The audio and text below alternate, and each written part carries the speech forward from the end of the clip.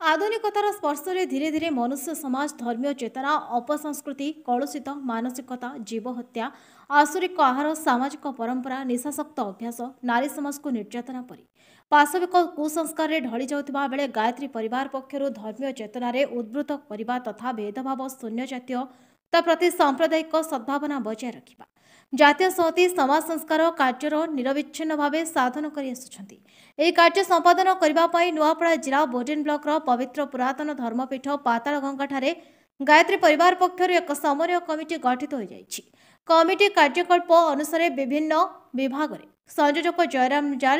সহসংযোজক বিশ্বকেশন বিশাল সংগঠক চৈতন্য বাগ কার্যালয় প্রভারী ক্ষিতিরাম নিয়াল কোষ প্রভারী পপুরাম অগ্রওয়াল সপ্তক্রান্তি প্রভারী নবকিশোর বেহরা রচনাত্মক প্রভারী বিপ্রমোহন বেহরা ভারতীয় সংস্কৃতি জ্ঞান পরীক্ষক নেহুর মাঝি যুবা প্রভারী দেবাশিষ যোশী নারী যোগরণ প্রতিভা অগ্রওয়াল গণমাধ্যম প্রভারী কিষণ সাহু প্রমুখ সর্বসম্মতিক্রমে নির্বাচিত হয়েছিলেন নয়াপড়া জেলা প্রতিনিধি মনোজ কুমার খমারী রিপোর্ট মেঘা টিভি